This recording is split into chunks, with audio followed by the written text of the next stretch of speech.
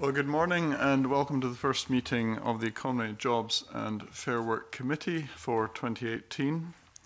Um, there is a decision, first of all, to be taken item one by the committee to take item four on the agenda in private. Are we all agreed on that? Yes.